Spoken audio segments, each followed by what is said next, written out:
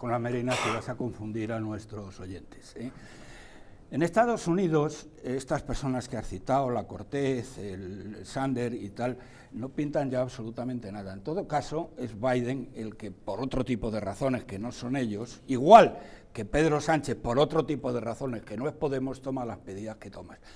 Pero claro, es que no me compares Estados Unidos con España. Los salarios en Estados Unidos no han hecho más que subir, han subido una barbaridad. Ahora mismo es que no encuentran gente ¿eh? pagándoles salarios del copón. ¿eh?